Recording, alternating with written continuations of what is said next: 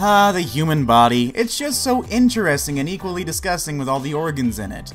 However, despite the gross squishy stuff inside of us, it can do some interesting things. It can curve, concave, stretch, and bend. Although most people can easily touch their toes, do a flip, or do the splits, there are some things most people can't even imagine doing. Few people around the world can do these weird, unthinkable things, and that's why today on Top 5 Best, we're going over the top 15 things most people can't do. Let's begin, shall we? We are currently giving away an iPhone 7 Plus and 30 Google Play cards and 30 iTunes cards. Now, if you want to be entered into this giveaway, make sure you subscribe right now, leave a like on this video, and comment down below your favorite part of the video. If you are not subscribed, guys, you cannot be entered, so press that subscribe button right now and smash a like on this video. Also guys, make sure you turn on notifications right now. That little bell next to the subscribe button. If you do, you will be entered into our giveaway and it will give you a huge chance of winning. Number 15. Raise one eyebrow. In order to get a point across to another person, most people use facial expressions. Some people use their fists, but most people use facial expressions. In fact, please use your facial expressions. These facial expressions range from smiling to simply raising one's eyebrows. Although this may sound simple, most people can't raise one eyebrow by itself. Now you may be thinking to yourself, yes I can, but as some of you may be trying now, you can't. People call the raising of the one eyebrow the eyebrow cock.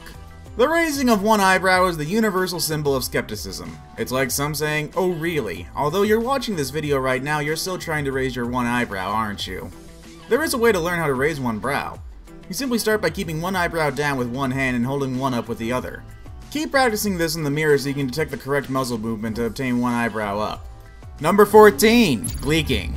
Although this next ability may sound disgusting, there's only a few people who can actually gleek. Gleeking is also known as gleeting, or glicking is like spitting, but it is not quite exactly like spitting. This term gleeking means protecting saliva from the submandibular gland upon compression of the tongue. Basically, the saliva simply shoots out from underneath the tongue with the help of the salivary glands. Just think of it as being able to control how much your mouth produces and releases saliva. The majority of the time, gleeking is involuntary, but there is a way to learn how to gleek with just a little research.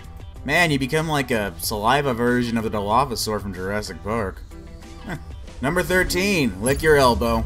Many people can easily bend their arm or elbow. Most people can also stick their tongue out, but most people can't do them together. That's why the next up on our list of weird, funky things most people can't do is lick their elbow. Although this may sound easy, that is not the case. It's just about impossible for most people to lick their elbows. Try it now. Make sure you're alone though, or you may look like a complete idiot. That's because this is a rare ability that only a few people spread throughout the world can actually do. It's obviously not so impossible for some people. Supposedly, Guinness World Records gets about 5 claims a day from people who think that they're special just because they can lick their elbows. Number 12. Twitch your nose. For this next weird ability, we head back up into the face area, smack dab in the middle, right to the nose. Nose twitching became noticeable was when Bewitched star Samantha Stephens began to twitch her nose during filming. Her nose twitch became a sort of trademark for Bewitched. Nose twitching can also be involuntary and can be symptoms of a serious medical condition. Some people have trouble flaring their nostrils for the same reason. However, as with several items on this list, it's something that can be learned. Worth doing too, as it's a pretty endearing little trick. Maybe people will compare you to a cute little rabbit or some other creature. Number 11. Wiggling your ears. When most people think of wiggling a body part, they think toes or fingers and even your butt. But you would never think of wiggling your ears now, would you? Your cats can do it, and so can the hippo and Jeff Goldblum. But only a few other people in the world can wiggle their ears. Although you can train yourself to wiggle your ears by simply isolating your ear wiggling muscle. You may be able to wiggle your ears, but it won't be that impressive if you have to raise your eyebrows or look awfully surprised every time.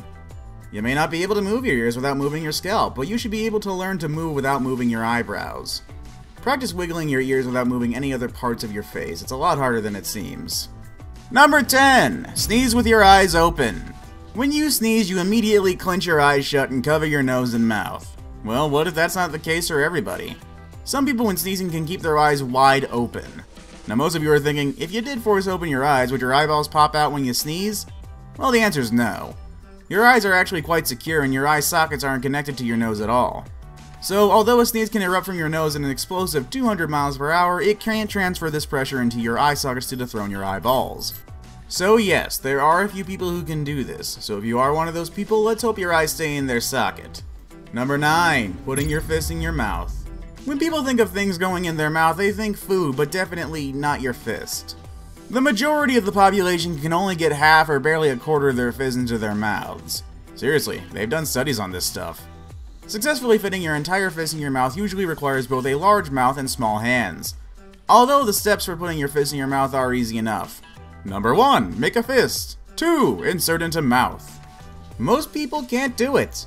Majority of the people who can do this are women, and the other few men who are able to do it either have small hands or big mouths, or maybe even both. Number 8. Writing a number 6 while moving your foot clockwise. Okay, even I have to admit this one is definitely a weird entry. The first thing most people were taught when learning multitasking is pat your head and rub your stomach at the same time. Making the multitasking of patting your head and rubbing your stomach even harder was to do each part in opposite directions.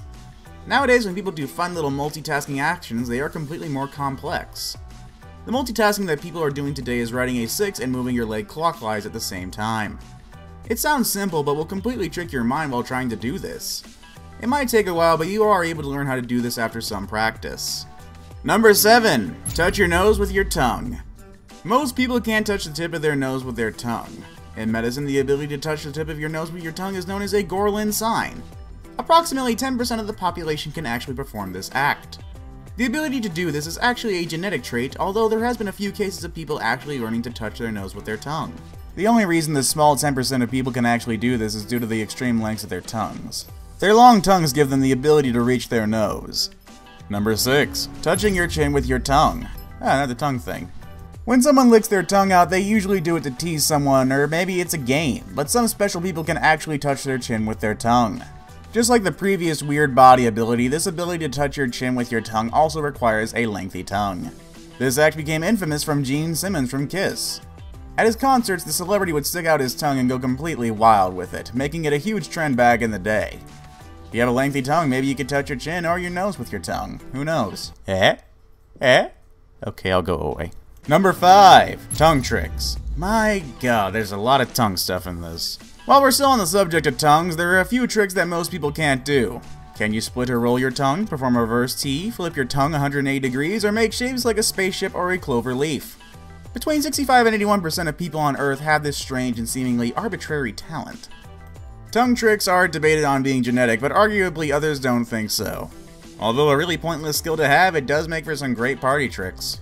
Number 4. Double Jointed. Double jointedness, also known as hypermobility, is when the joints stretch out further than normal. Some hypermobile people can bend their thumb backwards to their wrist, bend their knee joints backwards, put their legs behind their head, and perform other contortionist tricks. Double jointedness is actually more common than you may think. Around 10 to 25% of the population is double jointed. Although many may be double jointed, some people who are double jointed can't do all the bending and twisting of certain body parts that others may be able to do. It can be even something so little as being able to move some fingers farther than regular people. Number 3. Eating a spoonful of cinnamon. Originally known as the Cinnamon Challenge, this next trick sounds simple but can get pretty spicy. It's simply eating a spoonful of cinnamon. Ground cinnamon may be a tasty baking addition, but it's impossible to eat on its own for most people. We don't suggest trying this at home. When eating cinnamon, the cinnamon can coat and dry the mouth and throat, resulting in coughing, gagging, vomiting, and inhaling cinnamon itself can lead to throat irritation, breathing difficulties, and risk of pneumonia or a collapsed lung. Although this is dangerous, many people are successful in eating a full spoon of cinnamon. It's weird to see such a strange and dangerous thing lead to what used to be such a massive and popular trend on the internet. Number 2. Tickling yourself. We all have ticklish spots that friends and loved ones love to zero in on. Being tickled makes us laugh, squirm, and sometimes even more. And if you're anything like normal people, it makes you reflexively punch and kick anyone within reach. On paper, it might sound easy to do, but in practice it's near impossible to genuinely tickle yourself to the point of laughter. This is because you will always brace for the touch. The mind immediately goes into defense mode and your body doesn't react the same way as if someone else was actually in genuinely tickling you. Unless there is a disconnect between you and your subconscious mind, your touch will always be anticipated. Number 1. Putting your foot behind your head. Finally and lastly on our list of weird things the human body can do is the ability to place your feet behind your head. In order to put your foot behind your head, it requires extreme flexibility. Simply placing both legs behind one's head may come and sound easy to some gymnasts or to Sheen Estevez from Jimmy Neutron, but to an average Joe, this task would be completely impossible. Even if you were to practice and stretch every single day, this is not guaranteed